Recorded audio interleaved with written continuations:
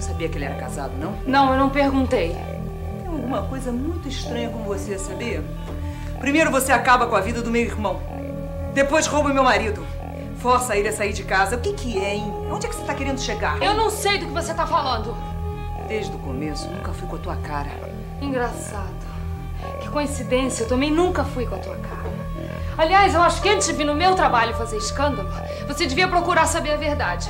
Porque eu e o Theo, a gente se conheceu Não me por... interessa saber os detalhes da tua safadeza. Garota, você não presta.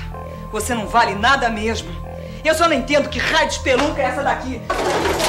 De gente, hã? Como é que vocês contratam gente dessa lá, hein, dona Fátima?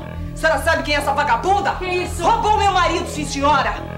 Fez ele largar a família. Eu tenho uma filha pequena. Se controla, Diná. E a senhora, cala a boca!